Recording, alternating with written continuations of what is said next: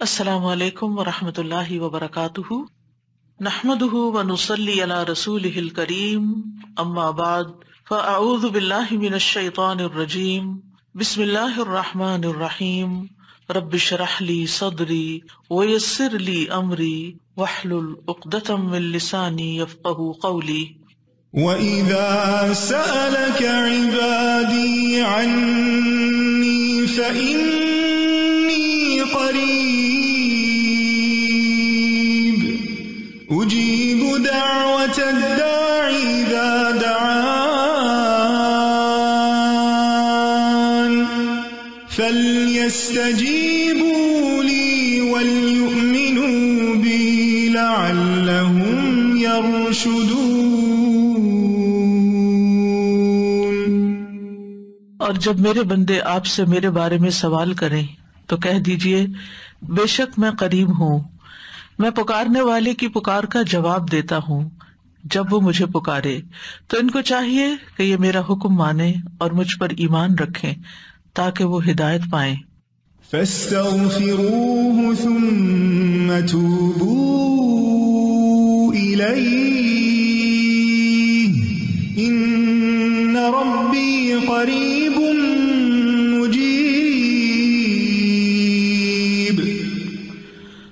सो उससे बख्शिश मांगो, फिर उसकी तरफ़ पलट आओ।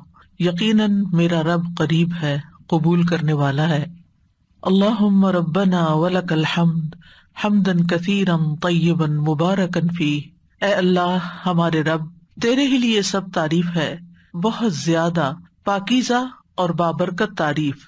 सुबहान अल्लाह व बिहम्दिही सुबहान अल्लाह अजीम। सुबहान अल्लाह व बिहम्दिही सुबहान अल्लाह अजीम। पाक है अल्लाह अपनी तारीफ़ के साथ। पाक है अल्लाह, जो बड़ा अजमत वाला है। अल्लाह सल्ली अला मुहम्मदिन व अला आलि कमा सल्लैत अला इब्राहिम व अला आलि इब्राहीम इन्नक हमीदुम मजीद। अल्लाहुम्मा बारिक अला मुहम्मदिन व अला आलि मुहम्मदिन, कमा बारकत अला इब्राहीमा व अला आलि इब्राहीम इन्नक हमीदुम मजीद। प्रोग्राम करीब मुजीब के सिलसिले में आज हम गम और परेशानी से निजात की दुआओं के बारे में पढ़ेंगे। अल्लाह सुबहान ताला ने इस दुनिया को मशक्कतों और मुसीबतों का घर बनाया है ताकि इंसान की आजमाइश हो सके। अल्लाह ताला ने इंसान की तख्लीक की हकीकत बयान करते हुए फरमाया, लक़द खलक़नल इंसान फ़ी कबद। बिलाशुबा यकीनन, हमने इंसान को बड़ी मशक्कत में पैदा किया है। और इस मशक्कत से मुराद वो सख्तियाँ और मशक्कतें हैं जो इंसान इस दुनिया में बर्दाश्त करता है। और वो मशक्कतें भी जो बरजख में होगी, कब्र में होगी, और वो जो कयामत के दिन उसको बर्दाश्त करना होगी। यानी इंसान की ज़िंदगी का सफ़र मशक्कतों का सफ़र है और इस रियलिटी को एक्सेप्ट कर लेना चाहिए। हाँ अगर कोई अल्लाह ताला की इतात और फर्मा बरदारी में ये ज़िंदगी बसर करता है और इन तकलीफों पर नाराज़ नहीं होता इन आजमाइशों में कामयाब हो जाता है तो इनशाला मौत के साथ ही उसकी राहतों भरी ज़िंदगी शुरू हो जाएगी और आइंदा के लिए उसकी मशक्कतें खत्म हो जाएँगी। मशक्कतों से पाक, मुसीबतों और तकलीफों और आजमाइशों से पाक जगह तो सिर्फ़ जन्नत ही है और दुनिया जन्नत हो नहीं सकती। चाहे इंसान इसको जितना भी जन्नत बनाने की कोशिश में लगा रहे। तो इस दुनिया में रहते हुए इस हकीकत को जान लेना चाहिए कि यहाँ इम्तिहान होंगे, तकलीफें होंगी, आजमाइशें होंगी, गम होंगे। ज़रूरत इस बात की है कि हमें तरीका आता हो कि इन गमों मुश्किल तकलीफों से निबटना कैसे है। यानी उसके लिए अपने आप को तैयार करना है। वरना, लकद खलकनल इंसान फ़ी कबद। इब्न अब्बास कहते हैं, कबद से मुराद उसका पेट में हमल की सूरत में रहना, उसका दूध पीना, उसका दूध छुड़ाना। दांतों का उगना, उसकी ज़िंदगी के बचपन के मराहल और उसकी गुजरान, उसकी मौत, ये सब कुछ बहुत सख्त और शदीद होता है। यानी हमल से लेके पैदाइश का मरहला और फिर दूध पीना और छुड़ाना और दांतों का आना और टीदिंग पीरियड, सारे ही मराहल के अपने मसाइल होते हैं। इन सब में इंसान को किसी न किसी तकलीफ़ से गुजरना पड़ता है। कतादा कहते हैं कि वो दुनिया और आखिरत दोनों की मुसीबतें झीलता है तो आप इसको मुशक्कत में पड़ा हुआ ही पाएँगे। यानी इंसान है ही मुशक्कत में। इब्नुल जौजी कहते हैं, दुनिया आजमाइशों और मुसीबतों के लिए बनाई गई समझदार शख्स को चाहिए कि अपने नफ्स को सब्र पर आमादा करे। यानी यहाँ ये सब कुछ तो होगा ही। तकलीफें तो आएँगी, लेकिन ज़रूरत किस चीज़ की है? कि हम अपने आप को समझाएँ कि ये दुनिया मुश्किल जगह है। यहाँ सब्र करना ज़रूरी है। दुनिया मोमिन के लिए कैद खाना है। रसूल अल्लाह सल्लल्लाहु अलैहि वसल्लम ने फरमाया दुनिया सिजनुल मुमिनी व जन्नतुल काफिरी। दुनिया मोमिन के लिए कैद खाना है और काफिर के लिए जन्नत है। तो इसका क्या मतलब है कि क्या काफिर को कोई मुशक्कत नहीं होती इस दुनिया में? होती है। लेकिन मुराद इससे ये है कि आखिरत की तकलीफों के मुकाबले में दुनिया में जो भी उसको मिला है, वो उसके लिए जन्नत ही है, क्योंकि उसके लिए आखिरत में जन्नत नहीं है। और आखिरत मोमिन के लिए खुशहाली का घर है। जब मोमिन वहाँ पहुँचेगा तो पुकार उठेगा वकाल हजन इन रबना लगफूर शकूर, अल्लजी अहल्लना दारल मुकामत मिन फदली ला यमस्सुना फीहा नसब वला यमस्सुना फीहा लुगूब। और वो कहेंगे कि उस अल्लाह का शुक्र है जिसने हमसे गम को दूर कर दिया। यानी जन्नत में जाकर इंसान वाकई गम से दूर हो जाएगा। यकीनन हमारा रब बख्शने वाला कदरदान है, जिसने अपने फजल से हमें अबदी क्याम गाह में ला उतारा, जहाँ हमें न मशक्कत उठानी पड़ती है और न कोई थकावट लाक होती है। यानी ना ही कोई काम मुश्किल है और ना ही हम थकते हैं। आराम ही आराम है, सुकून ही सुकून है। लेकिन उस सुकून को पाने के लिए इस दुनिया में थकना शर्त है। अपने आप को अल्लाह की इबादत में, बंदों की खिदमत में थकाना लाजिम है। दुनिया जितनी भी तकलीफ़ दे हो, लेकिन इंसान जब जन्नत में पहुंचेगा तो जन्नत का एक चक्कर दुनिया की सारी फिक्रों को खत्म कर देगा। नबी सल्लल्लाहु अलैहि वसल्लम ने फरमाया, क्यामत के दिन अहले जन्नत में से उस आदमी को पेश किया जाएगा, जिसे दुनिया में लोगों में से सबसे ज़्यादा तकलीफें आई होंगी। फिर उसे जन्नत में सिर्फ़ एक गोता देकर, यानी एक चक्कर लगवा कर पूछा जाएगा ए आदम, क्या तूने कभी कोई तकलीफ़ भी देखी? क्या तुझ पर कभी कोई सख्ती भी गुजरी? वो अर्ज़ करेगा ए मेरे रब, अल्लाह की कसम कभी नहीं, कोई तकलीफ़ नहीं देखी, सारी तकलीफें भूल जाएँगी। कभी कोई तकलीफ़ मेरे पास से न गुजरी और ना ही मैंने कभी कोई शिद्दत और सख्ती देखी। यानी ऐसी ठंडक, ऐसा आराम, ऐसा सुकून, ऐसा लुत्फ आएगा कि उसके हाफजे से भी निकल जाएगा कि कभी उसने कोई दुख देखा था। तो आज हम इस सिलसिले में रंज गम को दूर करने वाली सबसे बड़ी दुआ आयत करीमा के बारे में पहले पढ़ेंगे।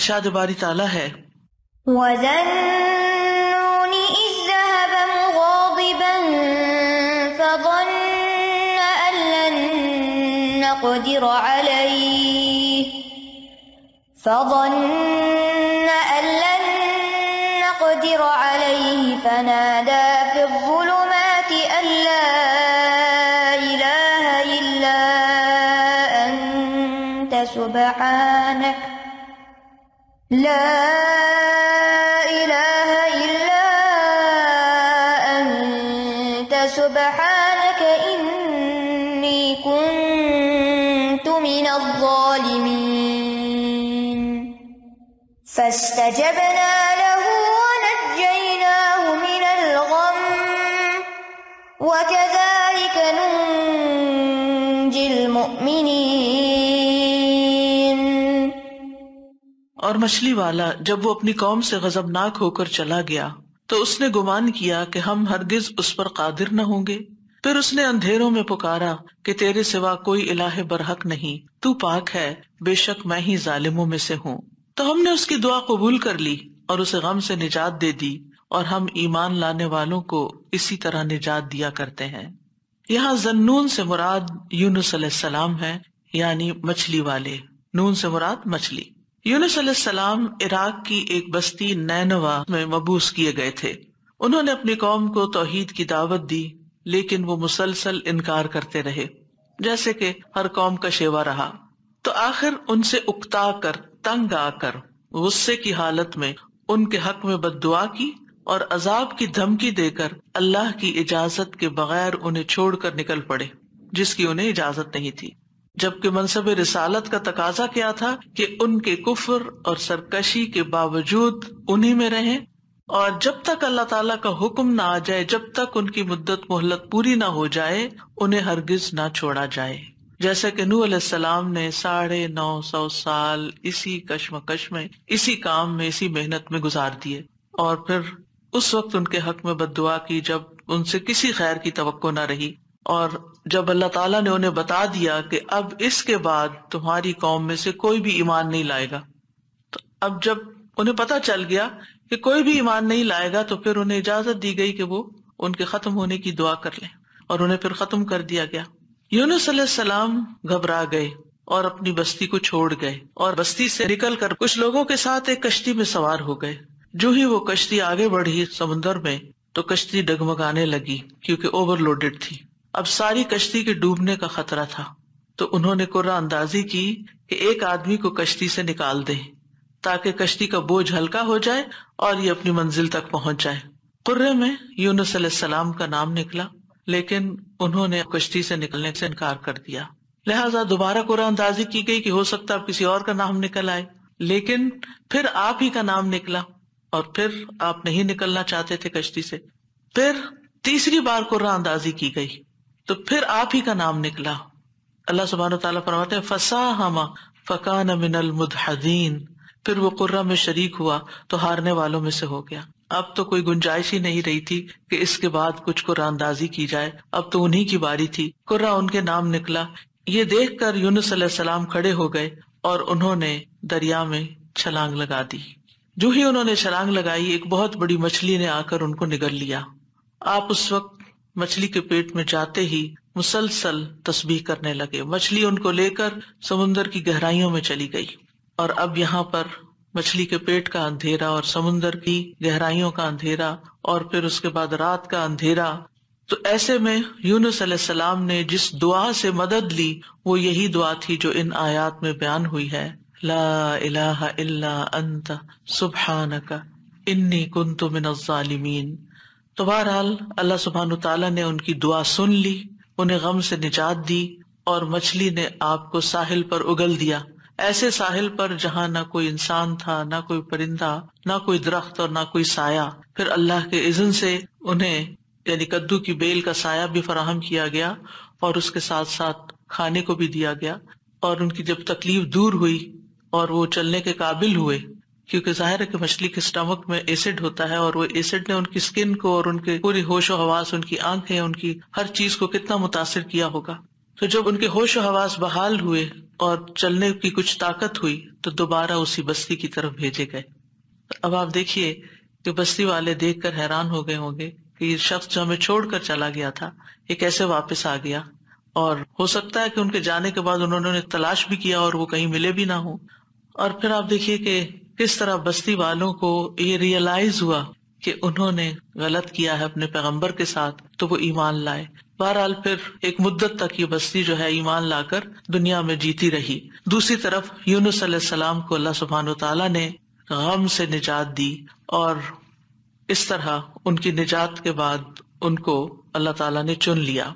इसी तरह अल्लाह सुबहान तआला इस बस्ती के बारे में फरमाते हैं, फलौला कानत करियतुन आमनत फनफा ईमान इल्ला कौम यूनुस, लम्मा आमनु कशफना अनहुम अजाब खिज़्य फिल हयात दुनिया, व मत्तानाहुम इलाहीन सो कोई ऐसी बस्ती क्यों ना हुई जो ईमान लाई हो, फिर उसके ईमान ने उसे नफा दिया हो, यूनुस की कौम के सिवा। जब वो ईमान ले आए तो हमने उनकी जिल्लत का अजाब दुनिया की ज़िंदगी में उनसे हटा दिया। और उन्हें एक वक्त तक सामान दिया। कहा जाता है कि यूनुस सलाम जब कौम को छोड़ कर गए थे और उन लोगों को ये बात समझ आ गई कि वो नबी थे और वो झूठ नहीं बोलते तो वो सब के सब अपने बच्चों, चुपायों, मवेशियों सबको लेकर सहरा की तरफ़ निकल गए और माओ को बच्चों से अलग कर दिया और अल्लाह सुबहान तला के हजूर में रो रो कर दुआएँ की।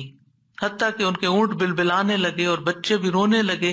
और गायों के बच्चे डकराने लगे और भेड़ बकरियाँ और सारे जानवर बोलने लगे। यानी एक समा होगा उस तौबा इस्तफार का कि किस तरह उन्होंने फरियादें की। तो आप देखिए, उधर उनका पैगंबर फरियादें कर रहा है और उधर उनकी कौम फरियादें कर रही है अपने सारे मालो मता के समेत। तो अल्लाह सुबहान तआला ने किस तरह उनकी फरियादें सुन ली। तो इससे क्या पता चलता है कि दुआ मांगने का भी एक सलीका होता है। बेरूह दुआएँ, बस सिर्फ़ अल्फाज का दोहरा देना, कभी चुप करके दिल में दोहरा लेना, कभी जबान से लफ्ज निकाले बगैर सिर्फ़ मुँह से बोल देना, ये काफ़ी नहीं होता, बल्कि इसके लिए बहुत ज़रूरी होता है कि इंसान अपनी आहोजारी ज़ाहिर करे, अल्लाह सुबहान तला के आगे अपनी बेकरारी को बयान करे और अपनी कैफियत और अपने गम और अपने दुख की दास्तान सुनाए और मेहनत करे दुआ में। हम दुआ में मेहनत नहीं करते। हम एक आध दफ़ा बस कर लेते हैं, कभी थोड़ा बहुत आँसू भी आ गए, थोड़ा बहुत रो पड़े और बात खत्म हो गई और फिर कहा, हमने तो बड़ी दुआ कर ली, हमारी तो सुनी नहीं जाती। यूनुस सलाम ने आयत करीमा कैसे पढ़ा था? और हमारी कौम में कैसे रवाज है आयत करीमा पढ़ने का? हम्म?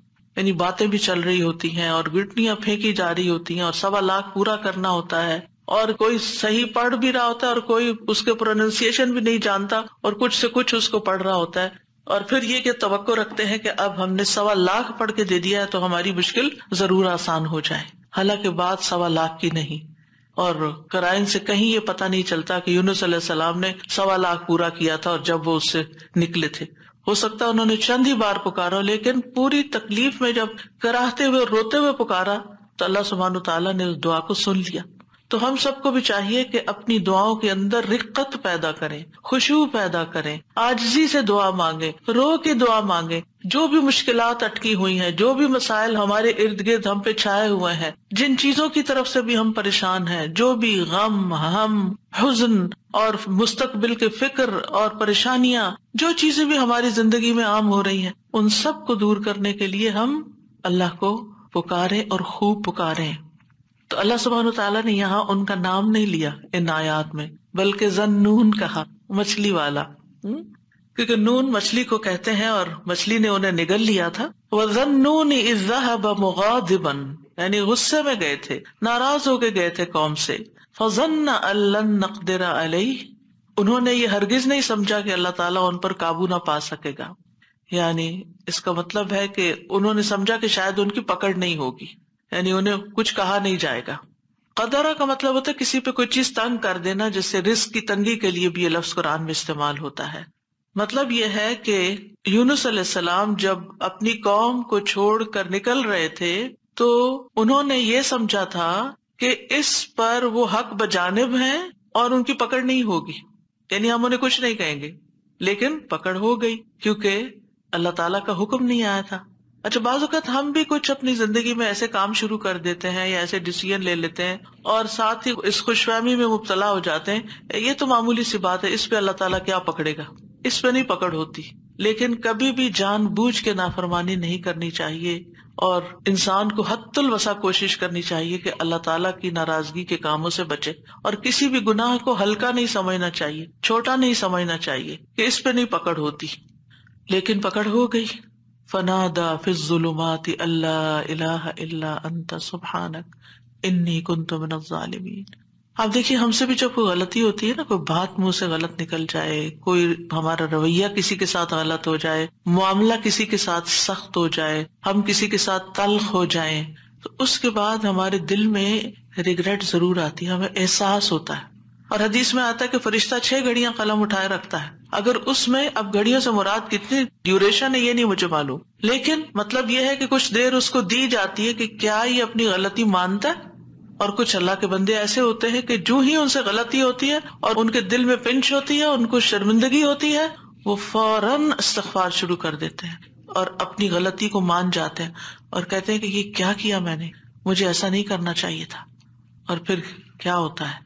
अल्लाह ताला अपनी रहमत से माफ़ कर देता है ऐसे बंदों को। तो यूनुस सलाम से भी जो हो गई कमी, उसके बाद उन्हें एहसास हो गया कि ऐसे ही उनका नाम कुरे में नहीं निकला।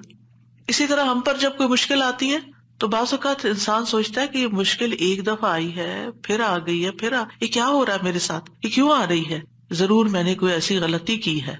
फिर इंसान इस्तफार शुरू कर देता है और आयत करीमा का विरद शुरू कर देता है कि कोई मुसीबत अल्लाह के इज़न के बगैर नहीं आती।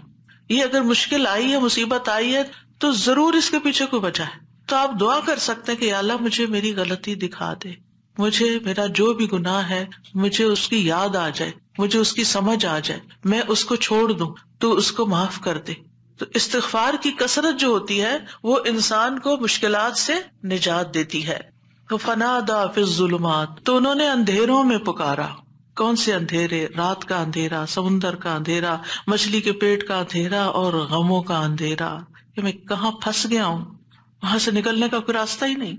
आप देखिए कि अगर कोई डोर बंद होता है तो इंसान डोर बढ़ जाता है, कोई आके खोल देता है, दरवाज़ा तोड़ देता है इंसान, कुछ ना कुछ हल निकल आता है।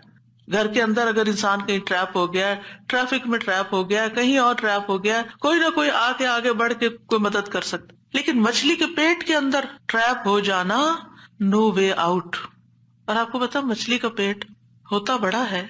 जैसे वेल मछली है ना तो उसका जो माउथ होता है, वो बहुत बड़ा नहीं होता। क्रिल खाती है ना क्रिल बहुत छोटी छोटी चीज़ होती है। और कई टन क्रिल खा जाती है, लेकिन ये है कि छोटी चीज़ अंदर ले जा सकती। अब ये तो अल्लाह के इज़्ज़त से उसका मुँह खुल गया होगा और वो अंदर चले गए। और ये भी नहीं हमें पता कि वेल थी या कोई और, क्योंकि समुन्द्र की अक्सर मखलूक तो हमारे इल्म में ही नहीं है। ये तो इंसानों के अंदाजे हैं। तो बहरहाल उनके दिल पे जो गम था और जो तकलीफ़ थी, उसमें उन्होंने पुकारा और सबसे पहले तोहहीद का इकरार किया, ला इलाहा इल्ला अंता, कि इस वक्त मुझे पक्का यकीन है और मुझे इस पर पूरा एतमाद है कि इस मुश्किल से सिर्फ़ तू निकाल सकता है, कोई भी नहीं। मेरी फरियाद सुनने वाला कोई नहीं, मेरी मदद करने वाला कोई नहीं, मेरे काम आने वाला कोई नहीं। तो आप देखिए, मुश्किलात के हल के लिए सबसे पहली चीज़ तोहीद का इकरार करना चाहिए। अफसोस ये कि हमारे ही लोग तोहीद के इकरार की बजाय मुश्किलात में गैर अल्लाह को पुकारने लगते या अली मदद, या फला मदद, कबर वालों को पुकारने लगते हैं। किस कदर अफसोस की बात है? यूनुस अपने रब को पुकार रहे हैं और कह रहे हैं कि तेरे सिवा कोई इला नहीं। ला और इंसान की ना समझी देखिए कि वो मुश्किल वक्त में गैर अल्लाह को पुकारे। उसकी मुश्किल कहाँ से आसान हो सकती है? और फिर उसके बाद, इल्ला अंता सुबहाना का तू पाक है। यानी अल्लाह ताला की जात को हर नक्स हर ऐब, हर आफत से मुनजा और पाक करार दिया। हमारे यहाँ क्या होता है? जब कोई तकलीफ़ आती है, या हम लोगों को ब्लेम करते हैं, इनकी वजह से हुआ ये, फलां ने नज़र लगा दी है। या फिर हम अल्लाह ताला को इल्ज़ाम देने लगते इट्स नॉट फेयर मेरे साथ अच्छा नहीं हुआ। तो अब आप देखिए, जिस बंदे की डायरेक्शन ही सही नहीं, उसकी मुश्किल कहाँ से हल होंगी? अगर आप अपने कसूर का जिम्मेदार दूसरे को ठहरा रहे हैं, इल्ज़ाम तराशी कर रहे हैं, दूसरे की ऐप जोई कर रहे हैं, दूसरे की शिकायतें किए चले जा रहे हैं, क्योंकि आमतौर पर होता क्या जब इंसान को कोई प्रॉब्लम आती है, मियाँ बीवी मसलन कोई लड़ाई हुई तो अगर आप औरत का केस सुने तो सारा इल्ज़ाम मियाँ को देगी, मियाँ का केस सुने तो सारा इल्ज़ाम बीवी को देगा। तो एक दूसरे को इल्ज़ाम देने से मसाइल कभी हल नहीं होते। हमेशा दुनियावी मामला में भी कोई रुकावट आए तो देखना चाहिए कि मैंने कौन सा डिसीज़न गलत दिया था। मेरी गलती कहाँ थी? यूनुस सलाम अल्लाह के चुने हुए नबी थे।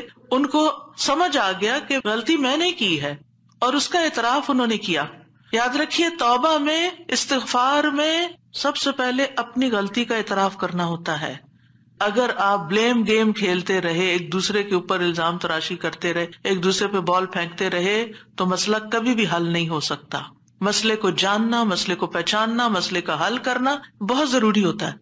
ये ऐसे ही है कि जैसे कोई शख्स बीमार हो जाए और डॉक्टर उसकी असल बीमारी को डायग्नोज करने की बजाय सब खराबी पेट में है और वो ट्रीट कर रहा है लोकली किसी जगह को, कहाँ से इलाज होगा?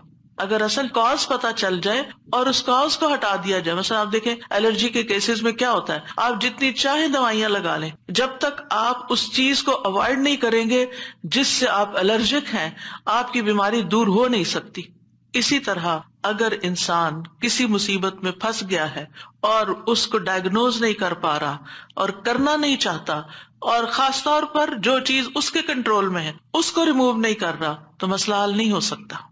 तो अल्लाह सुबहान तला के यहाँ भी दुआ और फरियाद का सलीका यही है कि इंसान अपने आप को कसूरवार ठहराए जहाँ वो कसूरवार है। और अगर कसूरवार नहीं है, पक्का यकीन है, सरासर आप पे जुल्म हुआ है, फिर अल्लाह की रहमत को पुकारे। या हयू या कयूम बिरहमत का वरना अपनी गलतियाँ। और कौन इंसान ये कह सकता है? कि वो पाकबाज है, उससे कोई गलती नहीं होती, कसूर उसका नहीं, कुछ ना कुछ। ठीक है, एक का दस फ़ीसद और एक का नब्बे फ़ीसद कसूर, लेकिन कहीं ना कहीं दस फ़ीसद तो होता है ना, उस दस फ़ीसद की ही गलती की माफ़ी मांग ले। तो एतराफ जो है, गुनाहों का एतराफ वो इंसान को दुनिया की मुश्किल से भी और आखरत की मुश्किल से और गुनाहों से निजात दिलाता है। अब जो ही उन्होंने ये बात की, यानी तीन चीज़ें हैं इसमें। एक तोहीद का इकरार है, एक अल्लाह की तस्बी है, और एक अपनी गलती का इकरार है। दो चीज़ें अल्लाह ताला के हक में, और एक अपने हक में। है नतीजा क्या हुआ? फस्त जब ना लहू। हमने दुआ कबूल कर ली। ऐसे तरीके से उसने पुकारा कि दुआ कबूल हो गई। वनज्जैना मिनल गम। हमने उसको गम से निजात दे दी। ये कुरान के अल्फाज है। लिहाजा जिसके दिल पर कोई भी गम है किसी भी चीज़ का औलाद की तरफ़ से, अजवाज की तरफ़ से, या माल की तरफ़ से, या किसी भी तरह का कोई गम, हम, फ़िक्र, परेशानी, उसको, इन्हीं कलिमात को लाजिम कर लेना चाहिए। और उसी जज्बे के साथ पढ़ना चाहिए जिस जज्बे के साथ यूनुस ने पढ़ा था। वनज्जैना मिनल गम। उस वक्त वो गम में घिरे हुए थे। तो अल्लाह ने उनको निजात दे दी। वह कदाल का नुंजिल मोमिनीन ये सिर्फ़ उनके लिए नहीं था। हम इसी तरह सारे मोमिनों को निजात देते हैं। जो भी ये दुआ पढ़ेगा, उसको गम से निजात मिल जाएगी। तो गोया मोमिनों को इस बात की तरगीब दी जा रही है। इस बात का सलीका सिखाया जा रहा है कि गम और दुख और तकलीफ़ के मौके पर उन्हें क्या पढ़ना है, क्या कहना है। और जब इंसान ये देखता है कि सबका मोमिनीन को इस दुआ की वजह से तकलीफ़ से निजात हुई तो उसका एक यकीन बढ़ जाता है कि अल्लाह ताला मेरी तकलीफ़ भी दूर कर देगा। अगर वो रब यूनुस सलाम को मछली के पेट से निकाल सकता है तो मेरा रब मुझे इस मुश्किल से क्यों नहीं निकालेगा? क्यों नहीं निकाल सकता? वो ज़रूर निकालेगा। तो इससे खास तौर पर ये बात पता चलती है कि तहलील यानी ला इल्लल्लाह और तस्बीह सुबहान अल्लाह या सुबहानक, ये हर गम को दूर करने के लिए मुजर्रब नुस्खे हैं। ये दो चीज़ें कर्ब और मुसीबत से निजात दिलाती हैं। तो जो शख्स भी अल्लाह की किताब पर ईमान रखता है, कुरान मजीद को अल्लाह का कलाम समझता है, अल्लाह के वादे पर भरोसा करता है, अल्लाह की इस बात को सच्चा समझता है तो फिर वो इसी तरीके पर इस दुआ के साथ अपने रब को पुकारे तो अल्लाह ताला उसकी दुआ कबूल करेगा और उसको गम से निजात देगा। इस दुआ की फजीलत के बारे में अहादीस भी आती हैं। नबी सल्लल्लाहु अलैहि वसल्लम ने फरमाया, जुन्नून की दुआ जब वो मछली के पेट में थे, यानी ला इलाहा इल्ला अंत सुब्हानका, इन्नी कुन्तु मिनज़ ज़ालिमीन। जब भी कोई मुसलमान किसी मामले में, किसी मामले में इन अल्फाज के साथ अपने रब से दुआ करे, वो दुआ उसके लिए ज़रूर कबूल होगी। अल्लाह सुबहान ताला के बाद नबी सल्लल्लाहु अलैहि वसल्लम ने भी इस बात को कंफर्म किया है। कि ये दुआ मसाइल का हल है। बहुत लंबे चौड़े वजीफे पढ़ने की भी ज़रूरत नहीं। लेकिन पढ़े तो क्वालिटी के साथ, दर्द के साथ, तड़प के साथ, तकरार के साथ, इसरार के साथ इफ्तार के साथ, अपनी मोहताजी ज़ाहिर करते हुए, अपनी गलती का एतराफ करते हुए। इसी तरह सिलसिला सहीहा की हदीस है। अलैहि वसल्लम ने फरमाया, क्या मैं तुम्हें ऐसी चीज़ ना बता दूँ? कि जब तुम में से किसी आदमी को रंजो अलम और दुनिया की आजमाइशों में से कोई आजमाइश आए, दुनिया की आजमाइशों में से कोई आजमाइश आए तो वो इस दुआ को पढ़े तो उसकी तकलीफ़ दूर हो जाएगी। तो आपसे कहा गया, क्यों नहीं? आपने फरमाया, वो मछली वाले की दुआ है। ला इलाहा इल्ला अंत कि जिसको भी आजमाइश आए, वो ये दुआ पढ़ ले तो उसकी दुआ कबूल हो जाएगी, आजमाइश खत्म हो जाएगी। एक रिवायत में आता है, साद कहते हैं, एक मरतबा मस्जिद नबी में मेरा गुजर उस्मान बिन अफान रज़ी अल्लाह के पास से हुआ। मैंने उन्हें सलाम किया। उन्होंने निगाहें भर के मुझे देखा, लेकिन जवाब नहीं दिया। मैं उमर बिन खत्ताब रज़ी अल्लाह के पास आया। उनसे दो दफ़ा सवाल किया कि क्या इस्लाम में कोई नई चीज़ पैदा हो गई है? उन्होंने कहा, नहीं, क्यों? क्या हुआ? मैंने कहा, मैं अभी मस्जिद में उस्मान रज़ी अल्लाह के पास से गुजरा था। मैंने उन्हें सलाम किया उन्होंने निगाहें भर के मुझे देखा, लेकिन जवाब नहीं दिया। उमर रज़ी अल्लाह ने पैगाम भेजकर हज़रत उस्मान को बुला लिया और फरमाया कि अपने भाई के सलाम का जवाब देने में आपको क्या रुकावट पेश आई? किस चीज़ ने आपको रोका? उस्मान रज़ी अल्लाह ने कहा कि मैंने तो ऐसा नहीं किया। साद कहते हैं, मैंने कहा, बिल्कुल ऐसा ही किया है। कहते हैं हत्या के उस्मान रज़ी अल्लाह ने कसम खा ली। तो मैंने भी कसम खा ली। फिर उस्मान रज़ी अल्लाह को कुछ याद आ गया। तो उन्होंने कहा, बला व अस्तफिर व अतूबू इलई हाँ ऐसा हुआ है। मैं अल्लाह से माफ़ी माँगता हूँ और तौबा करता हूँ। आप अभी अभी मेरे पास से गुजरे थे। दरअसल मैं उस वक्त एक बात सोच रहा था, जो मैंने रसूलुल्लाह सल्लल्लाहु अलैहि वसल्लम से सुनी थी। और अल्लाह की कसम, जब भी मुझे वो बात याद आ जाती है, मेरी आँखें पथरा जाती हैं और मेरे दिल पे पर्दा आ जाता है। यानी मुझे अपनी होश नहीं रहती। कहते हैं, साद ने कहा, मैं आपको इसके बारे में बताता हूँ। रसूल अल्लाह सल्लल्लाहु ने एक मरतबा किसी गुफ्तगु की इब्तदा में एक दुआ का ज़िक्र किया था। थोड़ी देर के बाद एक देहाती आया, उसने आपको मशगूल कर लिया। यहाँ तक कि जब रसूल अल्लाह सल्लल्लाहु खड़े हुए तो मैं भी आपके पीछे पीछे चला गया। जब मुझे अंदेशा हुआ कि जब तक मैं आपके करीब पहुंचूँगा, आप अपने घर पहुँच चुके होंगे तो मैंने अपना पाँव ज़मीन पर मारा। तो रसूल अल्लाह सल्लल्लाहु अलैहि वसल्लम ने मेरी तरफ़ तवज्जो की। पूछा, ये कौन है? अबू इसहाक है? कहते हैं, मैंने अर्ज़ किया, जी या रसूल अल्लाह सल्लल्लाहु अलैहि वसल्लम। आपने फरमाया, क्या बात है? कहते हैं, मैंने अर्ज़ किया कि आपने हमारे सामने इब्तदा में एक दुआ का तस्करा किया था और फिर एक देहाती ने आपको मशगूल कर लिया और आपने वो बताई नहीं दुआ। आपने फरमाया हाँ वो यूनुस सलाम की दुआ है जो उन्होंने मछली के पेट में मांगी थी। यानी ला इल्ला अंत सुबहान का इन्नी कुंतु मिन जालिमीन। कोई भी मुसलमान जब भी किसी मामले में इन अल्फाज के साथ दुआ करेगा तो दुआ ज़रूर कबूल होगी। अब आप देखिए कि ये सहाबा है। यानी कहने को तो ये हदीस का आखिरी हिस्सा मैं सुना के आगे चलती।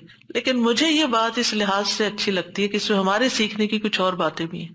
वो ये कि इतने जलील कदर साहबी जो रसूल अल्लाह सल्लल्लाहु अलैहि वसल्लम के इंतहाई करीब थे, यानी उनसे पायस उम्मत में कौन हो सकता है हज़रत उमर हो, हज़रत उस्मान हो, हज़रत अली हो, हज़रत बकर रज़ी अल्लाह हो। लेकिन इंसान थे। और उन पर भी ऐसी गैर मामूली कैफियात आती थी कि वो अपनी सोचों में या अपने हालत में ऐसे मशगूल होते थे कि उनको सामने की चीज़ नज़र नहीं आती थी। बाजुकत ऐसा कोई गम होता है, कोई बात होती है। हो सकता है नबी सल्लल्लाहु अलैहि वसल्लम ने आपकी आखिरी वक्त के बारे में फितनों की कोई पेशन गोई की हो, क्योंकि यहाँ बात का नहीं पता चलता कि कौन सी बात उनको हर चीज़ बुला देती थी। दूसरी बात यह कि बाजुकत इंसान का हाफसा ऐसे साथ छोड़ जाता है कि वो कहता है कि ये काम हुआ ही नहीं। ना सिर्फ़ ये कि वो कहता है नहीं, बल्कि उसके बाद कसम भी खा लेता है। अब दोनों साहबा ने कसम खा ली। बाद में एहसास होता है, ओह हाँ अब याद आया। हो सकता है आपके साथ कभी ऐसा को मरला हुआ और उसके बाद किस कदर शर्मिंदगी हुई। पिछले दोनों मेरे साथ यही एक मामला हुआ। किसी ने मुझे कुछ अमानत दी किसी को देने के लिए, और मैं जल्दी में थे, वो जल्दी सड़क के ड्रार में भूल गई। उसके बाद जिसकी अमानत थी, उसने मुझसे पूछा तो मैंने कहा कि बिल्कुल नहीं, मुझे तो कुछ पता नहीं, कुछ पता नहीं। दो तीन दफ़ा उन्होंने पूछा, उन्हें हर दफ़ा कहा, मुझे कुछ पता नहीं, ऐसा कुछ भी नहीं। फिर जब उस शख्स से पूछा गया तो फिर दूर जाके मुझे याद है हाँ वो मैं निकल रही थी और जल्दी में ऐसे हुआ था और मैं सोचूं कि या अल्लाह, ऐसी फिर तकलीफ़ होती है ना अंदर इतनी दफ़ा मैंने गलत बयानी की। हाफजे की कमज़ोरी या उस इंसिडेंट को बिल्कुल भूल जाने की वजह से। खासतौर पर अगर मैं क्लास के लिए निकल रही हूँ और मुझे कोई कुछ बात कहे तो मुझे समझ नहीं आती क्या कह रहा है। यानी आपकी ज़िंदगी में भी कोई ऐसे औकात होते हैं ना, जब आप किसी ज़रूरी काम या ज़रूरी सोच में तो बच्चे आके कुछ कहते हैं, वो फुला आया है, फुला का फ़ोन है। और आप ऐसे सुनी अनसुनी कर देते हैं, जैसे आपको इल्म ही ना हो। हम सब इंसान हैं, हम कमज़ोर हैं, हमसे ऐसी गलतियाँ होती हैं, हमें ऐसी गलतियों का एहसास होते ही माफ़ी मांग लेनी चाहिए। और ये जो हम इस्तफार करते हैं तो वो कहते हैं, कौन सा गुनाह किए? कोई गुनाह तो है नहीं, किस बात का इस्तफार बेशुमार गुनाह है हमारे। और हमने अपना अमाल नामा कोई नहीं देखा अब तक कि जिससे हमें यह पता चले कि वो मिट चुके हैं कि नहीं मिट चुके। और हमें स्टिल अभी और भी माफ़ी मांगने की ज़रूरत है। तो जब तक हमारी जान में जान है, हमसे कुछ ना कुछ गलतियाँ, कमियाँ, कोताहियाँ होती रहेंगी, जाने, अनजाने। खुल कल इंसान ज़ाइफा। हम कमज़ोर पैदा किए गए। चाहे हम नेकी के, इल्म के, अखलाक के, किसी भी मर्तबे पर हों, हम कमज़ोर हैं। हम में कोई बढ़ाई नहीं है। और हम सब गलतियाँ करते हैं। तो होना क्या चाहिए? जो ही याद आए गलती तो गलती का इतराफ कर लेना चाहिए। माफ़ी मांग लेनी चाहिए। बंदों से भी मांग लेनी चाहिए। अल्लाह से भी माफ़ी मांग लेनी चाहिए। और फिर अल्लाह ताला की तरफ़ रुजू करना चाहिए। तो अल्लाह सुबहान ताला माफ़ कर देने वाला है। और वही एक अकेला है जो मुश्किल से निकाल सकता है। ये पक्का यकीन होना चाहिए। और जितना ज़्यादा ये यकीन होगा ना, उतना ही ज़्यादा हम अल्लाह की तरफ़ रुजू करेंगे। उतना ही ज़्यादा मोहब्बत के साथ फिर अल्लाह ही को पुकारेंगे कि दरवाज़ा यही जिसको कटकटाना है हमें। इधर से ही मसला हल होना है और कोई रास्ता नहीं है। जितनी तोहीद खालिश होगी, उतनी ही दुआ मुअसर होगी। और ये दुआ जो है, इसको दुआल कर्ब भी कहा जाता है। तकलीफ़ दूर करने वाली दुआ। हमारे यहाँ इसको आयत करीमा कहा जाता है। वरना हर आयत आयत करीमा है। करीमा का मतलब मुआज और इसकी कोई गिनती मुकर नहीं है, लेकिन अगर आप तकरार से पढ़ें, सौ दफ़ा पढ़ लें, बीस दफ़ा पढ़ लें, पचास दफ़ा पढ़ लें, ज़रूर पढ़ लें को वो मना भी नहीं है। लेकिन एक मखसूस तादाद में पढ़ने से ही मुश्किल का हल होना, ये यकीन रखना, ये गलत है, ऐसा नहीं होना चाहिए। तो इस दुआ में फिर दोहरा देती हूँ, क्योंकि असल सबक ये है जो आपको सीखना है, और दुआ तो आपको सबको आती पहले से भी पता है, और ये हदीसें भी सुनी हुई है। जिस चीज़ को पल्ले बांधना, जिस चीज़ को पकड़ के रखना है, वो क्या, कि वो क्या चीज़ है कि जिससे ये दुआ इतनी इफ़ेक्टिव है। तो इसमें चार चीज़ें हैं। एक है तोहीद, दूसरे है अल्लाह को हर ऐब और नक्स से पाक करार देना। तीसरे, अपने उबूदियत का इकरार कि मैं बंदा हूँ, गलतियों वाला हूँ। और चौथे, अपनी गलती और कोताही को मान जाना, अपनी गलती का एतराफ करना।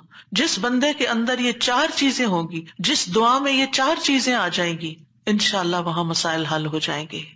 और फिर आप देखिए कि इंसान का नफ्स जो है ना, एकदम जरा सी भी कोई उसको चीज़ मिले, कुछ हासिल हो तो एक सरकशी का शिकार हो जाता है तकबर और गुरूर में आ जाता है। तो अपने आप को तकबर और गुरूर से निजात देना है, क्योंकि कुछ लोगों का ख्याल होता है कि I am very important and I can do everything और मैं सब कुछ कर सकता हूँ और सेल्फ रिलायंस हूँ, मैं सेल्फ मेड हूँ और पता नहीं क्या क्या अपने बारे में झूठी तवक्कुआत और अपने आप को बढ़ा चढ़ा के पेश करना और अपने आप को बड़ी चीज़ समझना, ये चीज़ें अल्लाह ताला को पसंद नहीं। लेकिन अफसोस ये कि यहाँ के कल्चर की वजह से ये चीज़ें हमारे बच्चों के अंदर इतनी इंस्टिल हो गई हैं कि वो एक एरोगेंस के लेवल तक बाजुकत अखलाक पहुँच जाता है, जो कि इंतहाई खतरनाक है। तो बच्चों की तरबियत में ये एलिमेंट याद रखें कि उनको कॉन्फिडेंस दें कि यू कैन डू आप ट्राई करो, आप कर सकते हो। अल्लाह ने आपको ये और ये और ये दिया नियमतों को याद कराएँ, लेकिन उसकी एक लकीर खींचे, उससे आगे नहीं जाए।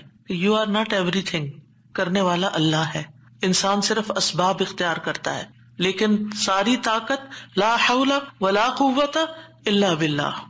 और फिर ये कि अल्लाह ताला की जो खालिक की अजमत है और उसकी जो अहमियत है हमारी ज़िंदगी में, उसका इजहार और इकरार करना और उसको पाक करार देना और उससे जुल्म की नफी करना कि आप जालिम ने मैं जालिम हूँ। इन्नी कुन तो मेरे जालिमीन। और गलतियाँ मेरी हैं, ये बहुत ज़रूरी है। जहाँ तक गम और परेशानी का ताल्लुक है ज़िंदगी में तो याद रखिए कि गमगीन रहना ईमान की अलामत नहीं, ठीक है? यानी हर वक्त गमगीन नहीं रहना चाहिए। गम ईमान के मरातब में से नहीं। इब्न कय्यम रहमा कहते हैं, जान लें, गम रास्ते की रुकावटों में से है। यानी अल्लाह की तरफ़ जाने वाला जो रास्ता है, सालिक कहते हैं ना, जाने वाले को, आपने सुना होगा लफ्ज सालिक। तो अल्लाह की तरफ़ जाने वाला जो रास्ता है गम उस रस्ते की रुकावट है। गम आपकी हिम्मत, ताकत, सलाहियत को कम करता है। आपकी इबादत में रुकावट डालता है। आप नमाज़ शुरू कर लेते हैं, आपको पता ही नहीं होता कि क्या पढ़ रहे हैं। आप दुआ मांगने लगते हैं, आपका दिल उड़ा हुआ होता है, आपको समझ नहीं आती आप क्या बोल रहे हैं। तो गम से हमेशा पनाह मांगे कि हम पर गम ना आए। वो कहते हैं, ये ईमान के मरातब और मकामात में से नहीं और ना ही अल्लाह के रास्ते पर चलने वालों की मनाजिल में से है।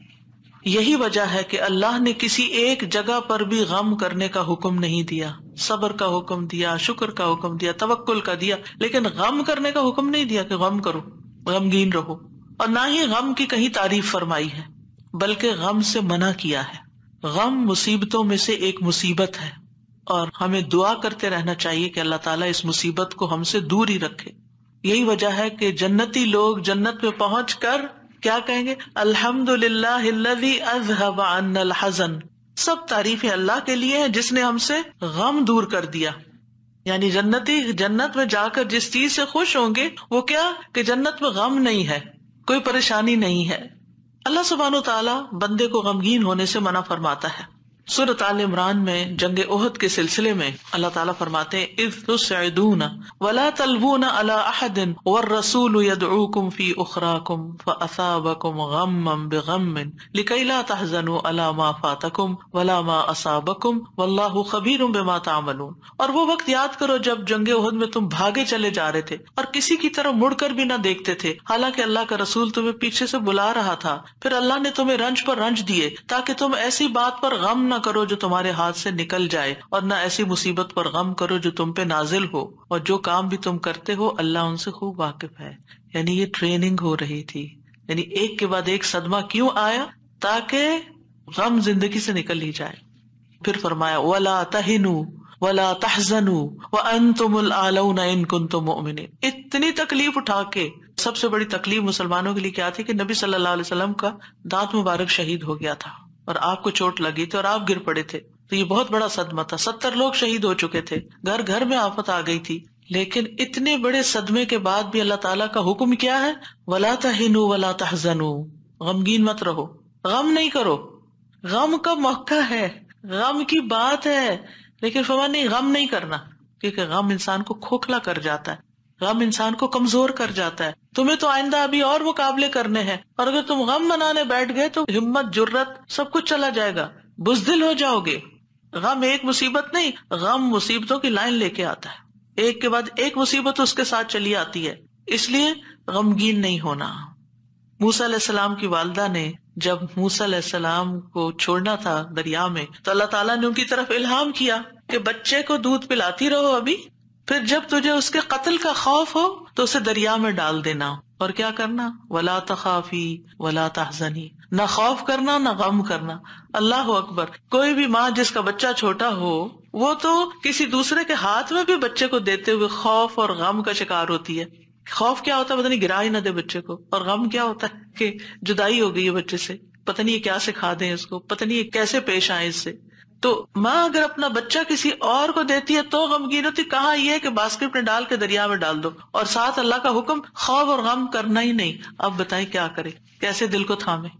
यही उसूल सीख लें ज़िंदगी के लिए। जहाँ कहीं गम पास आए, कहीं रोना आए, कहीं दुखी हो, अल्लाह ताला का ये फरमान याद कर लें। और है भी औरत के लिए। वो ला तखाफी, वो ला तहजनी। अपने आप को खुद याद कराएँ। वो ला तखाफी, वो ला तहजनी। कहते रहे। वला तखाफी, वला तहसनी न खौफ करो, न गम करो। अल्लाह है ना, अल्लाह मुश्किल आसान कर देगा। जिस चीज़ पर भी तकलीफ़, गम होता है, अल्लाह ताला दिन बदलेंगे, ये सारे हालात बदल जाएँगे। आप अगर अपने माजी को देखें, कितने ही वाकयात ऐसे हुए, जिन पे आप बेहद गमगीन हुए, फिर अभी क्यों नहीं हो रहे हो? तो गुजर गया ना। तो अगर उस वक्त भी थोड़ा कंट्रोल कर लेते तो अच्छा ही था। क्योंकि ये जो स्ट्रेस होता है ना, और ये गम और खौफ का मजमुआ स्ट्रेस फिर बन जाता है। और ये जो स्ट्रेस होता है ना, ये इंसान को बीमार कर देता है। फिजिकली भी कमज़ोर करता है। ईमानी एतबार से भी कमज़ोर करता है। रूहानी एतबार से कमज़ोर करता है। इंसान का दिल कमज़ोर हो जाता है। छोटी सी बात सुनता है तो उसके हवास बाख्ता हो जाते हैं। किसी भी चीज़ का मुकाबला नहीं कर पाता। तो अल्लाह सुबहान तआला ने उनको कहा, गम ना करो। बेशक हम इसे तेरे पास वापस लाने वाले हैं। वापस हमारे पास आएगा। और आप अपना बच्चा किसी को भी देते हैं तो वापस आप ही के पास आता है और इसे रसूलों में से बनाने वाले। अल्लाह ये कि अल्लाह अपने पास बुला ले। फिर तो हमसे ज़्यादा अल्लाह का है ना? इन्ना लिल्लाहि व इन्ना राजिऊन। नबी सल्लल्लाहु अलैहि वसल्लम ने गार सौर में क्या किया था? इज़ हुमा फिल गार, इज़ यकूल साहिबी ला तहजन। गम नहीं करना। इन अल्लाह माना। यानी किस तरह बेहारो मददगार इंसान एक ऐसी जगह पर हो जहाँ सारी कौम दुश्मन बनी हुई हो। और फिर भी गम ना करे। सारे साथ छोड़ दे, उल्टा मुखालफत करे, जान के दुश्मन बन। फिर भी गम नहीं करो, गम नहीं करो। और हज़रत वो बकर तो नबी सल्लल्लाहु के लिए गमगीन हो रहे थे ना? इब्न कय्यम कहते हैं, चार चीज़ें जिसम को बर्बाद कर देती हैं। परेशानी, गम, भूख और बेदारी। परेशानी और गम पुख्ता अज़म को कमज़ोर कर देते हैं और दिल में कमज़ोरी पैदा कर देते हैं। और बंदे और उसके कामों में मेहनत करने के दरमियान रुकावट बन जाते हैं, जो काम उसके लिए मुफीद होते हैं। यानी आप प्रोडक्टिव नहीं रहते और ये सफ़र का रास्ता काट देते हैं। यानी जो अल्लाह की तरफ़ जाने का रास्ता होता है ना, उसे काट देते हैं और उसको पसपाई की तरफ़ उल्टा कर देते हैं या रुकावट बनकर उसको सफ़र से रोक देते हैं। यानी वो अल्लाह की तरफ़ जाना ही बंद कर देता है। यानी एक शख्स अच्छा भला कुछ सीख रहा होता है क्लासेस ज्वाइन की भी होती है कोई काम कर रहा होता है या, या किसी बात से गमगीन हो जाता है जाना ही छोड़ देता अभी क्यों नहीं आ रहे? बस डिप्रेशन का शिकार है कहीं जाने को दिल नहीं करता। आप अच्छा भला एक काम कर रहे थे आप बेकार होकर बैठ गए। क्या ये नुकसान नहीं है? और उस गम की हालत में इंसान की अकल ऐसे मारी जाती कि उसको अपना नुकसान भी नहीं समझ आता कहीं मैं अपना ही नुकसान कर रहा हूँ अपने आप को खा रहा हूँ। गम क्या है? खुद को खाना। तो खुद को खाने से तो मसला हल नहीं होगा। मसला तो जहाँ है, वही है। वो तो अल्लाह ने दूर करना है। इस सारे कैफियत को, इस एहसास को, इस शिद्दत को दुआओं में लगा दे, दुआओं में कन्वर्ट कर दे। इमाम इबन कय्यम कहते हैं, या उसके इल्म से रुकावट बन जाते, इल्म के लिए रुकावट बन जाता है गम। तो ये चीज़ें सफ़र पर जाने वाले की पुष्ट पे बहुत भारी बोझ है। परेशानी, गम, भूख और बेदारी, यानी जो सही नींद नहीं देता रात की, जो सही फ़ूड नहीं लेता, यानी अपनी ज़रूरत की गजा नहीं लेता और जो गम और परेशानी का शिकार रहता है, वो शख्स किसी काम का नहीं रहता, बेकार, निकम्मा। और आप देखें, जब इंसान बेकार होता है ना, जो कोई काम का नहीं होता, किसी की खिदमत और मदद में नहीं होता, वो तनहा हो जाता है। उसकी कोई कदर कीमत नहीं रहती। कोई उसको लुक फॉरवर्ड नहीं करता, कोई उससे मोहब्बत नहीं करता। बेकार इंसान अपनी कदर गंवा देता है। वो कहते हैं ना, पंजाबी का मुहावरा चम नहीं कम प्यारा। चम का मतलब होता है चमड़ा स्किन यानी अगर आपकी स्किन बड़ी ग्लो कर रही है तो वो किसी को अच्छी नहीं लगेगी। आप जितना चाहे मेकअप लगा के खूबसूरत बन के आ जाए, लेकिन अगर आप काम के बंदे हैं ना किसी के, आप काम करते हैं, आप प्रोडक्टिव हैं, आप किसी के मददगार हैं तो हर कोई आपसे प्यार करेगा। ये एक उसूल, एक फितरत की बात है। चाहे अपने बच्चे ही क्यों ना हो, अगर वो बेकार रहने के आदि हो गए हैं तो आप दिन रात उन पर गुस्सा करते हैं कि तुम सुस्त हो, तुम बेकार हो, तुम किसी काम के नहीं हो। और उसको बेकार किस चीज़ ने किया? फ़िक्र, परेशानी, गम, दुख, तकलीफ़, इन चीज़ों ने। तो इनका इलाज करना होगा। इब्राहिम बिन अदम कहते हैं, गम दो तरह के होते हैं। एक गम तुम्हारे हक में है और एक गम तुम्हारे खिलाफ है। बस वो गम जो तुम्हारे हक में है, वो आखिरत के बारे में गम करना है। सारे गमों को एक में ढाल ले और वो है आखिरत का गम कि वहाँ मेरा क्या होगा? क्या मैं जन्नत में जा सकूँगी या नहीं? वो कहते हैं कि एक गम तुम्हारे हक में है वो आखिरत के बारे में गम करना और उसकी खैर बरकत के बारे में गम करना है। और वो गम जो तुम्हारे खिलाफ है, वो दुनिया और उसकी जीनत के बारे में गम करना है। दुनिया के फायदों के बारे में गम करना कि कोई चीज़ चली गई। वो दुनिया की जीनत क्या है? मसलन, अपनी जवानी, अपना हुसन, ये सारी चीज़ें क्या है? वक्त के साथ साथ ढल जाती हैं। फिर कुछ लोग इस पर गम लगा बैठते हैं। कि हम पहले से खूबसूरत नहीं रहे, पहले से स्मार्ट नहीं रहे, पहले से एक्टिव नहीं रहे। और कुछ लोग तो हर वक्त रोना ही रोते रहते हैं। अब मेरा हाफजा कमज़ोर हो गया है, अब मैं सोच नहीं सकती। एक खातून को मैं जानती हूँ पिछले बीस साल से यही बात हर वक्त करती है, जब मिलती है। इतनी बिजारी होती है ऐसी बातें सुन के। क्योंकि जब आप ऐसी बातें करते रहते हैं ना तो उससे आप दूसरों को बेजार करते हैं और अपनी कदर खोते हैं कि अच्छा अब ये बंदा बेकार हो गया है, अब ये काम का नहीं रहा, छोड़ो इसको। हम क्या चाहते हैं? हमदर्दी लेना दूसरे से। ये कह के कि मैं कमज़ोर हूँ, बीमार हूँ, हम समझते दूसरे हमदर्दी करें।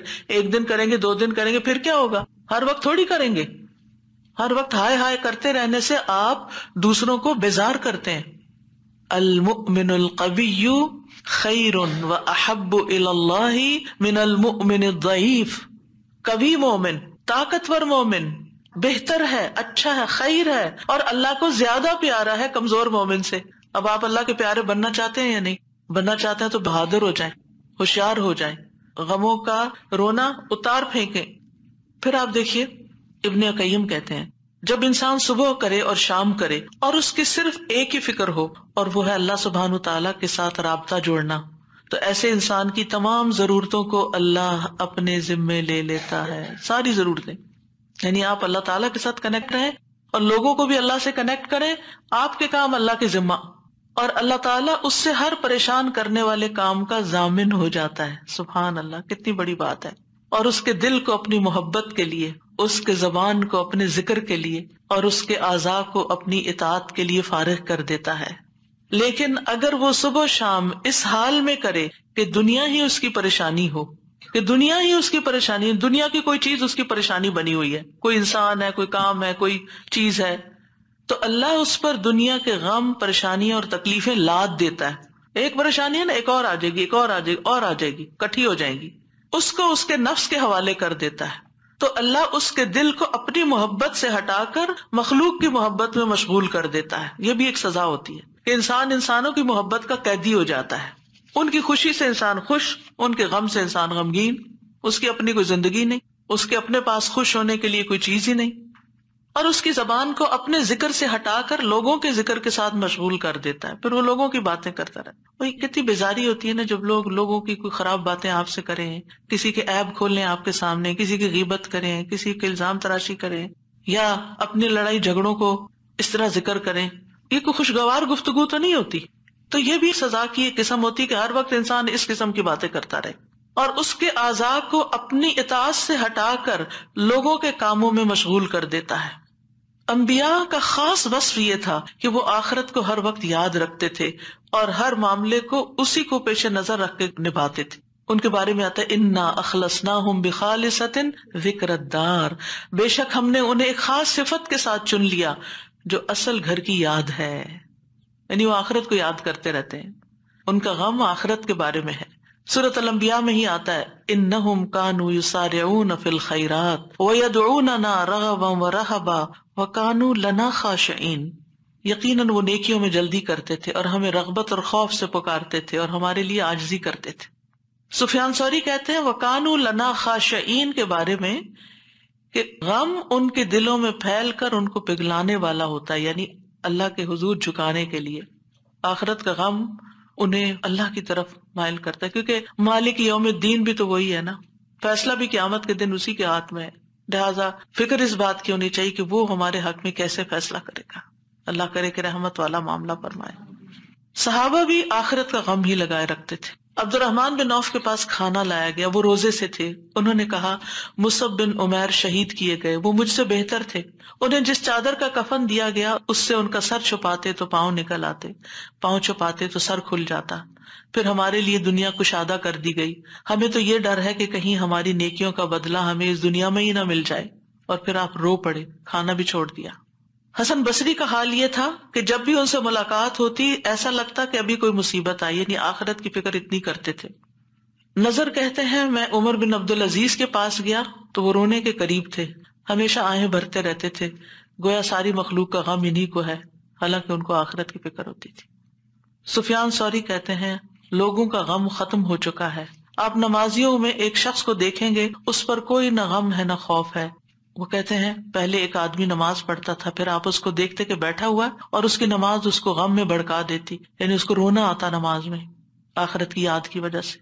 आज अगर हमें नमाज़ में रोना आता भी है तो किस वजह से आता है? हम सब अपना जायजा लें, हर कोई अपना अपना। पिछले एक महीने के अंदर सोचिए मैं कितनी बार रोई हूँ और क्यों रोई हूँ? दुनिया के गम में रोई हूँ या आखिरत के गम में रोई हूँ? हम क्यों रोते हैं? इसने मुझे हर्ट कर दिया, ये मसला आ गया, फला आ गया। ये छोटे मसले हैं, ये वक्त के साथ खत्म हो जाएँगे। जो जो आगे आप बढ़ेंगे, ये मसले पीछे रहते जाएँगे। लेकिन आगे जो आ रहा है ना, कल जिसको देखना है, वो है मुश्किल वक्त। उसका गम लगा लें। पीछे ना देखे, आगे देखे। सहाबा नमाज़ जाया होने पे गमजदा होते थे। इबादत ना कर सकने पर गमगीन होते थे। फितनों में पड़ने पर गमगीन होते थे। हर दिन ज़िंदगी को कम कर रहा है। इस बात में गमगीन होते थे।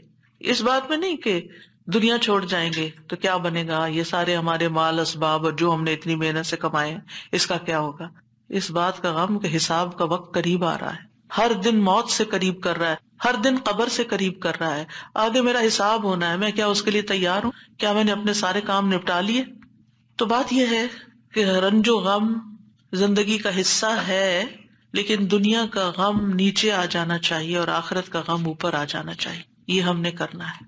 और दुनिया के गमों से बचने के लिए सबसे पहले तोहीद का यकीन, अल्लाह की तरफ़ रगबत, तकदीर पर यकीन कि जो तकलीफें आ रही है ना, ये तकदीर का हिस्सा है।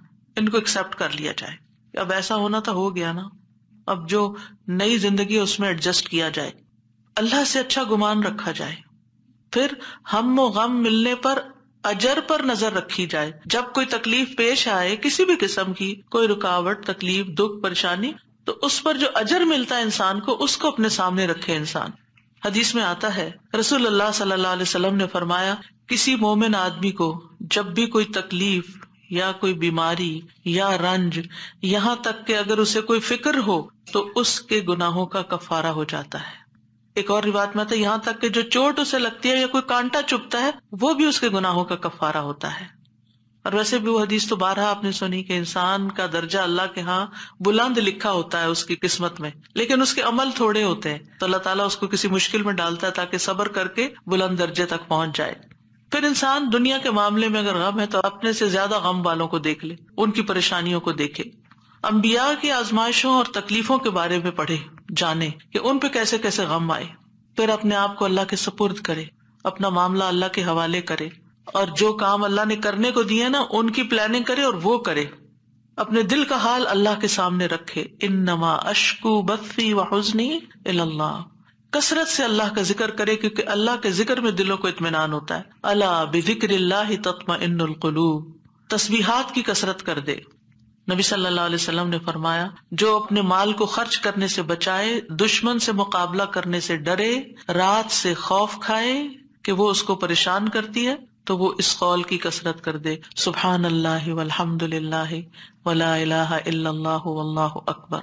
और अगर वला वला इल्ला बिल्लाह भी पढ़ ले तो उसका अपना फ़ायदा है अलग से। फिर ये कि अपने फराइज और अपनी जिम्मेदारियों को पूरा करे इंसान। बहुत दफ़ा इंसान की बेकारी उसको गमगीन करती है। करने का कोई काम नहीं है। फारिग है। कोई मकसद नहीं ज़िंदगी में। कोई मंजिल नहीं। कुछ अचीव करने को नहीं। दिन आता है, चला जाता है। तो ये चीज़ें भी इंसान को परेशान रखती हैं। जब आपकी गोल सेटिंग होगी हर रोज की, सुबह सवेरे उठते ही और अर्ली मॉर्निंग काम शुरू कर देंगे तो परेशानियाँ भाग जाएँगी। उनको आपके पास आने का वक्त नहीं मिलेगा क्योंकि आप मसरूफ हैं। आप उनको टाइम नहीं देंगे क्योंकि आपके पास और काम है। लेकिन जब आप फारिग होते हैं तो वो आ जाती हैं आपका दिल उड़ाने। फिर नमाज़ से मदद हासिल करना। वस्तईनु बिसब्री वसलात अम्बिया घबराहट में नमाज़ की तरफ़ लपकते थे। और जो नमाज़ छोड़ देता है, अल्लाह की मदद उससे छूट जाती। तो नमाज़ की पाबंदी, सदका करना। सदकात इंसान के गमों को दूर करने का बायस है। अल्लाह ताला फरमाते हैं अल्लदीन युनफिकून अम्वालहुम बिल्लैलि वन्नहारी सिर्रम व अलानिया, फलहुम अजरुहुम इंद रब्बिहिम वला खौफुन अलैहिम वला हुम यहज़नून। जो लोग दिन रात खुले छुपे अपना माल खर्च करते हैं, उन्हें अपने रब से उसका अजर ज़रूर मिल जाएगा। ऐसे लोगों को ना कुछ खौफ होगा, ना वो गमगीन होंगे। फिर इसी तरह दीन पर इस्तकामत गम और खौफ को दूर करती है। दीन के कामों में जमे रहे। इन अल्लदीन कालू हुम यहज़नून। यकीनन वो लोग जिन्होंने कहा कि अल्लाह हमारा रब है, फिर उस पर खूब कायम रहे उन पर ना कोई खौफ होगा, ना वो गमगीन होंगे। फिर हालात से कंप्रोमाइज करना, हालात से राज़ी रहना। जैसे इब्राहिम अलैहिस्सलाम हज़रत हाजर को जब छोड़ गए मक्का की वादी में तो वो परेशान हुई कि मैं अकेली, मेरा बच्चा अकेला, हम यहाँ क्या करेंगे? न खाना, न पीना, न कुछ। तो दौड़ती हुई हज़रत इब्राहिम के पीछे आई जब वो वापस जा रहे थे। तो उनसे पूछा अल्लाह हमारा कब हाजा अल्लाह ने आपको इसका हुक्म दिया कि हमें यहाँ अकेले छोड़ जाए? तो इब्राहिम ने इस बात में सर हिलाया। कहने लगी, फिर अल्लाह ताला हमें तनहा नहीं छोड़ेगा। अगर अल्लाह का हुक्म है ना, वो टेक केयर कर लेगा। ऐसे ही बंदा मोमिन कहता है, अगर ये अल्लाह का फैसला है ना तो वो मेरी टेक केयर कर लेगा। मुझे फ़िक्र करने की ज़रूरत नहीं है। जबान से रब की रजा के कलिमात हमेशा अदा करें। काश और अफसोस हो गया, इसके अल्फाज नहीं इस्तेमाल करें। ये कहें, जो अल्लाह की मर्ज़ी, जो तकदीर में लिखा था, वो हुआ। अच्छे कामों में मसरूफ हो खिदमत खल्क में मसरूफ हो। रसूल अल्लाह सल्लल्लाहु अलैहि वसल्लम ने फरमाया, वो लोग अल्लाह ताला को ज़्यादा महबूब हैं, जो दूसरों के लिए ज़्यादा फ़ायदा मंद हो। और अल्लाह अज्जा वजल्ला के हाँ सबसे पसंदीदा अमाल ये है, मुसलमान का अपने भाई को खुश कर देना। आप खुद गमगीन भी है, दुखी भी है, दूसरों को खुश करना शुरू कर दें। आप भी खुश हो जाएँगे, क्योंकि खुशी कंटेजियस होती है। खुशी फैलाने से फैलती है। इससे कोई तकलीफ़ दूर कर देना, यानी औरों की तकलीफ़ दूर करे, अल्लाह आपकी दूर कर देगा। उसका कर्जा चुकाना, उसे खाना खिलाना। और मुझे किसी भाई की ज़रूरत पूरी करने के लिए उसके साथ चलना, इस मस्जिद नबी में एक महीना इतकाफ करने से ज़्यादा महबूब है। और जिसने अपने गुस्से को रोक लिया, अल्लाह उसकी खामियों पर पर्दा डाल देगा। और जो अपने गुस्से को नाफिज करने की सकत के बावजूद पी गया, अल्लाह उसके दिल को क्यामत के दिन उम्मीदों से भर देगा। और जो अपने भाई के साथ उसकी ज़रूरत पूरी करने के लिए चला, अल्लाह ताला उसको उस दिन साबित कदम रखेगा, जिस दिन कदम डगमगा जाएँगे। और बदअखलाकी अमाल को यूँ तबाह करती है, जैसे सिरका शहद में बिगाड़ पैदा कर देता है। शहद में अगर सिरका डाल दे तो सिरके का टेस्ट गालिब आ जाएगा, शहद का पीछे चला जाएगा। फिर इसी तरह अपनी फ़ूड पर भी नज़र रखें। खाना पीना भी इंसान के अंदर जो केमिकल इम्बेलेंसेज होते हैं हार्मोनल चेंजेस असरअंदाज होता है। लिहाजा गम के मौके पर तलबीना खिलाना जो है, गमगीन शख्स को वो फ़ायदा देता है। ये हज़रत आयशा से रिवायत है कि जब कोई उनके रिश्तेदारों में से फौत हो जाता तो औरतें जमा हो जाती। जब वो मुंतशिर होती, सिर्फ़ रिश्तेदार और खास लोग रह जाते तो हज़रत आयशा उनको हंडिया में तलबीना पकाने का हुक्म देती। तलबीना पकाया जाता, सरीद बनाया जाता, उस पर तलबीना डाला जाता। फिर हज़रत आयशा फरमाती, इसे खाओ, क्योंकि मैंने रसूल अल्लाह सल्लल्लाहु अलैहि वसल्लम से सुना है। आप फरमाते थे, तलबीना मरीज़ के दिल को तस्कीन देता है और गम भी कुछ दूर कर देता है। तो राइट फ़ूड जो है, वो आपके अंदर एक ताकत लाती है। लेकिन अमूमन क्या होता है, जब कोई गमगीन होता है, खाना भी नहीं छोड़ देता तो उसमें सही खुराक किसी को देना और आप देखें कि शरीर जो है, वो यानी गोश्त के शोरबे में रोटी तोड़ के डालना और फिर उसके ऊपर तलबी इतनी ज़बरदस्त डिश बना के खाना और खिलाना जो है, ये गमों और दुखों, तकलीफों को, इससे ये पता चलता है, अगर कोई उदास है, परेशान है तो उसके चले, तुम्हें अच्छा सा खाना खिलाते हैं। तो ये भी एक रेमेडी है। उसका माहौल चेंज करे, उसको कहीं ले जाए। लेकिन ये कभी कभी तो हो सकता है, और किसी वजह से हो सकता है। हज़रत आयशा तो जब किसी का कोई फौत हो जाता था, उसका नुस्खा बता रही हैं, लेकिन अगर किसी ने रोज की आदत ही बना ली हो, सुबह सवेरे उठे मूड ऑफ़ कर लिया तो अब ये तो नहीं हो सकता ना कि हर रोज कोई आपको तलबीना पका के खिलाए। और फिर आखिरी बात ये कि दुआओं की कसरत। आयत करीमा के अलावा, अल्लाह अल्लाह रब्बी ला उशरिकु बिही शैया नबी वसल्लम अपने घर वालों को जमा करके ये दुआ सिखाते थे, और फरमाते कि जब तुम में से किसी को कोई गम या परेशानी पहुँचे तो उसे चाहिए कि वो अल्लाह अल्लाह रब्बी ला उशरिकु बिही आ कहे। अल्लाह अल्लाह लफ्ज की तकरार है। दो दफ़ा जब आप अल्लाह अल्लाह कहते हैं, आपका दिल हल्का होता है। फिर रब की सिफत का ज़िक्र है इसमें, तोहीद का इकरार है। और खालिस नीयत से ये पढ़े तो गम और तंगी दूर होगी इनशाला फिर या हय्यु या कय्यूम बिरहमत का अस्तगीस। ये परेशान कुन मामलात में मांगी जाने वाली दुआ है। इसमें अल्लाह ताला का इसमें आज़म है। इसमें अल्लाह ताला की दो सिफात के साथ, दो नामों के साथ वसीला पकड़ा गया है। अल हई, अल कय्यूम। और बेहतरीन वसीला जिसके साथ दुआ की जाए, वो अल्लाह के नाम है, अल्लाह ताला की सिफात है। फिर एक और दुआ है अल्लाह रहमतक अर्जू, फला तकिलनी इला नफ्सी तरफत व अस्लिह ली शानी कुल्लहु, ला अल्लाह, मैं तेरी रहमत का उम्मीदवार हूँ। तू मुझे आँख झपकने तक के लिए मेरे नफ्स के हवाले न करना। और मेरे सारे मामला दुरुस्त फरमा दे। तेरे सिवा कोई माबूद नहीं। ये मुसीबत जदा की दुआ है। रसूल अल्लाह ने फरमाया, दावातुल मकरूबी, परेशान हाल की दुआ। और इसमें खास तौर पर अल्लाह की रहमत का ज़िक्र है कि अल्लाह, मैं तेरी रहमत की उम्मीद करती हूँ और मेरा नफ्स तो बड़ा कमज़ोर है, मुझे उसके हवाले न करना, वरना मैं तो पड़ जाऊँगी। और एक लम्हे के लिए भी नहीं। अब देखिए बाज़ात आपने एक्सपीरियंस किया होगा। ये मैं अपने पर्सनल एक्सपीरियंस से बात कर रही हूँ। एक लम्हे के लिए कोई ख्याल आ जाता है किसी भी चीज़ का, कोई ऐसी परेशान कौन चीज़, आपका सारा जो सुकून है वो बर्बाद होकर रह जाता है। तो मैं सब सोचती हूँ कि ये शैतान था जिसने वार किया है ताकि इस बंदे का जो इतमान कल्ब और सुकून और खुशू और सब बर्बाद हो।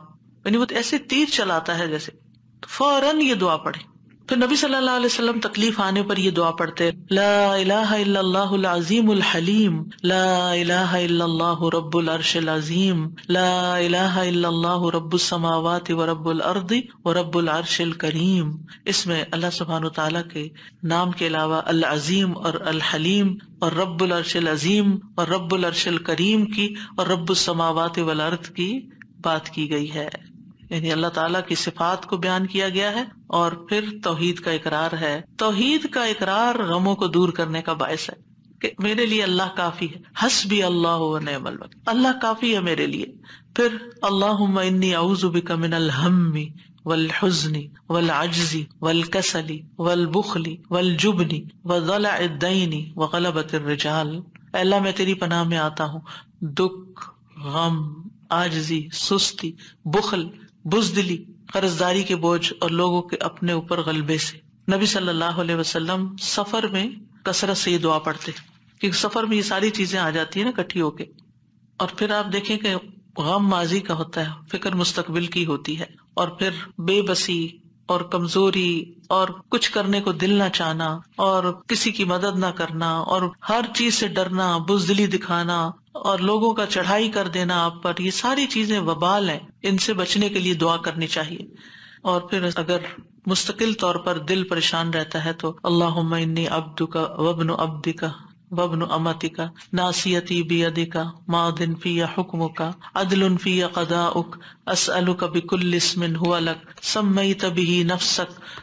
औ अनजलतहु फ़ी किताबिक औ अल्लमतहु अहदम मिन खल्किक अब गैब इंदक, अन तजअल कुरआन रबीअ कल्बी व नूर बसरी, व जलाअ हुज़्नी व ज़हाब हम्मी व गम्मी। इसके लिए वादा है कि जो ये पढ़ेगा, अल्लाह सुबहान ताला उसके गम को खुशी में बदल देगा। ये दुआ एक छोटे कार्ड की शक्ल में छपी हुई है। अगर आपको याद नहीं तो किसी भी जगह पर ये कार्ड ले जाकर चिपका दें। और जब दिल परेशान हो जाके खड़े होकर उसको पढ़ लें ताकि आपको जबानी याद हो जाए इसी तरह ये छोटा कार्ड है जिसमें ये सारी दुआएँ मौजूद हैं, अपने पर्स के अंदर रखें। जब दिल परेशान हो तो इनको आप पढ़ सकते हैं। इंग्लिश ट्रांसलेशन के साथ भी हैं। फिर इसी तरह ये ला तकनतु मिर रहमत का कार्ड है। ला इल्लल्लाह और तस्बीहात की फजीलत का अरबी और इंग्लिश में कार्ड है। ये आपके पास होने चाहिए ताकि ऐसी कैफियत में फ़ौरन आप अल्लाह की तरफ़ रुजू करें। दुआएँ याद नहीं रहती तो देख के भी पढ़ सकते हैं। और अल्लाह सुबहान तला हम सब के गम, दुख, परेशानियों को दूर फरमाए और दरूज शरीफ की कसरत भी गमों को दूर करती है। व आखिर दावाना अनिलहमदुलिल्लाहि रब्बिल आलमीन सुब्हानक अल्लाहुम्मा व बिहम्दिका अशहदु अल्ला इलाहा इल्ला अंता अस्तगफिरुका व अतूबु इलैक अस्सलाम वालेकुम वरहमतुल्लाहि वबरकातुह